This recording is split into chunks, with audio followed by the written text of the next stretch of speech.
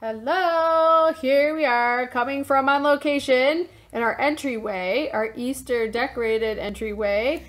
And we're going to perform a craft for you today, and it's called the Easter Mosaic Egg and Dough Project. Why are you doing ice cream cones? okay, so uh, we're going to show you. It's a really quick project, and we're going to show you how to make it. And we have some supplies that are on their way. They're coming down from up above. Uh, here's supplies. Supplies are dropping it. Crafting supplies. Thank you. Thank you. okay, so what do we need first? First of all, we need to take regular eggs like these, these Yeah, beauties. And you actually cut them with scissors, and you have to have your parents or a big kid do that. And it's kind of hard, but you, if your eggs are kind of soft enough, you cut them with scissors into little tiny pieces. So let's look at the little pieces. Those are the cut, little tiny pieces that you cut them into, just little squares, like mosaic squares. All different colors. And then the other thing you want to do is we want to perform this in the top of a lid. So here we have a Oh, just uh oh a salsa lid, but it could be a sour cream cream lid or whatever kind of lid. And then the other thing you need is hardening dough. So this dough is nice and soft and mushy, and then it hardens with the air, right? okay, so show them what you do with that dough.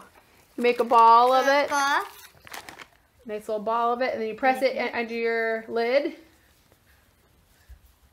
Okay, press it in the lid. And you smoosh it and you get it nice and even in there. Nice and even. And you got to get it all, all, all in there, nice and even along the whole bottom, right? So we're going to swap that one out with a pre-made one because that could take you a long time. Da, da, da, da. Oh, here's our one that's already made. and then you just take your little pieces of eggshell, and it's a mosaic project, right?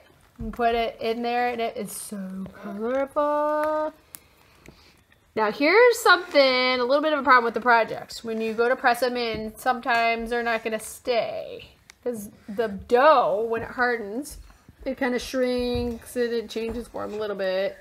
And it doesn't exactly stick in there so well. So what you could do is you put all your pieces in and then if you want to make this a permanent really nice thing that you keep for a while and make it into a coaster or some kind of decoration then you might want to lift your pieces up slightly and put some glue some white glue under them or hot glue or something like that so that's just a tip and then you just keep keep keep putting your pieces in until it's all done and it looks so colorful and so pretty so we will show you a picture at the end of the fi- final project.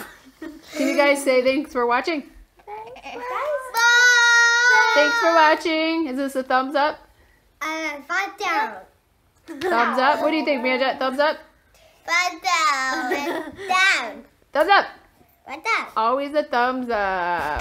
We- Say we're just joking. We watch it and we make three watches. Okay, I will watch it. Bye. Bye.